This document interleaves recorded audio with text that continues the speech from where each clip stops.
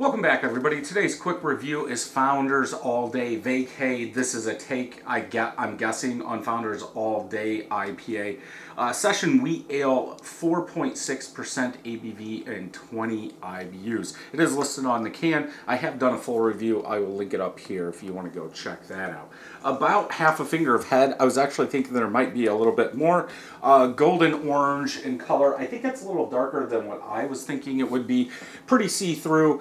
Uh, a little bit of chill haze uh, on there, but for the most part, I thought it would be a lighter color uh, with more haze. It is using wheat. Wheat's going to keep the uh, uh, protein in suspension a little bit longer to create that haze. Let's go ahead and smell wheat base, uh, maybe a little watery now that it's warming up, a little sweet citrus in there, and that is about it for the taste.